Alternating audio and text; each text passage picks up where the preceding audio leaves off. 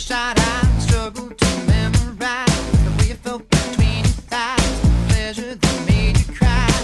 I feel so good to be bad, not worth the aftermath, after that, after that.